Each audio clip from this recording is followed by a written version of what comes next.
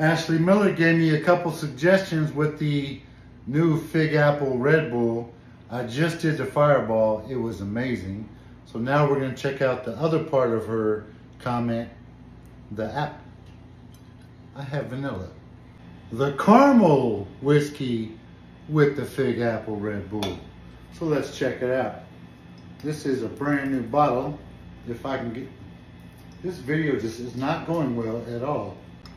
My God. All right, we're gonna get our caramel whiskey in there.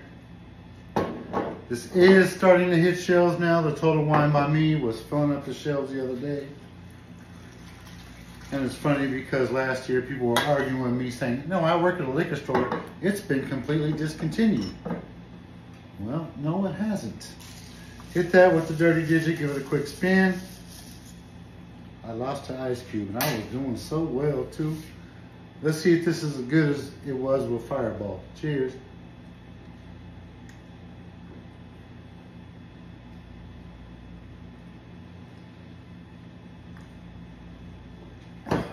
God damn. I will say I did like the Fireball combo.